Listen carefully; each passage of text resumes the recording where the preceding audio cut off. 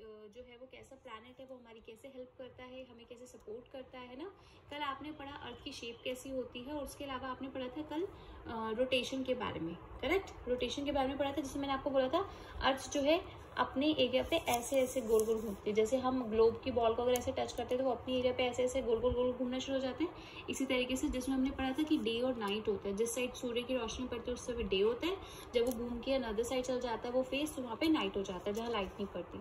अब next topic है उसमें revolution while spinning on it axis the earth also moves around the sun along a fix path call the orbit देखो, मैं आपको एक छोटा सा, आपको एक डायग्राम ड्रॉ करके उसका डिफरेंस समझा रही हूँ। ये आपका सन है ओके ये सन है और मान के चलो आप, ये आपकी अर्थ है।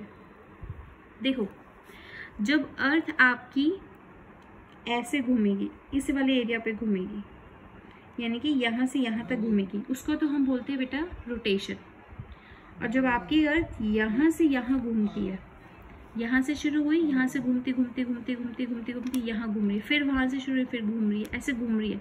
इसको हम बोलते हैं रेवोल्यूशन ठीक है? जब आपकी अर्थ सूर्य के चारों तरफ़ घूमती है while spinning on its axis the earth also moves around the sun एक फिक्स पाथ वगैरह से आपके घर का एक पर्टिकुलर रास्ता है, आप यहाँ से यहाँ जाओगे, आपका घर आ जाएगा, है ना?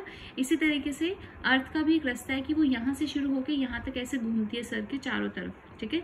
उस रास्ते को क्या बोलते हैं जिसपे वो घूमते हैं वो फिक्स पाथ है। ये नहीं कि कभी इधर घूमने चलेगी, कभी इधर घूमने चलेगी, नहीं। वो उसी एरिया पे घूमती रहेगी।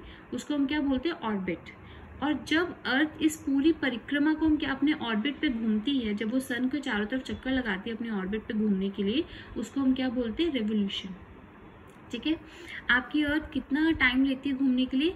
Earth or earth takes three sixty five one four days यानी कि ऑलमोस्ट आपकी थ्री सिक्सटी सिक्स डेज़ लेती है अर्थ जो है थ्री सिक्सटी फाइव डेज़ पूरे साल के लेती है वो आपका इस आपकी जो रेवोल्यूशन है, इसको कंप्लीट करने के लिए। हाँ लेकिन आपका जो, अगर आपको याद हो बेटा, कि आपका पूरे थ्री सिक्सटी सिक्स डेज़ आते हैं ना आपका जब एक लीप ईयर कंप्लीट होता है, आपका जब लीप ईयर उसमें थ्री सिक्सटी सिक्स डेज़ आते हैं तो उसको उन्होंने डिवीज़न में करा है। वन फोर्थ यानी कि थ्री सिक्सटी फाइव डेज़ के अलावा अगले साल का एक वन फोर्थ पार्ट जो है डे का, वो भी वो लेती है इस रेवोल्यूशन को कंप्लीट करने के लिए, यानी कि सूर्य के चक्कर को लगाने के लिए उसे थ्री सिक्सटी फाइव डेज़ और वन फोर्थ डेज़ लगता है।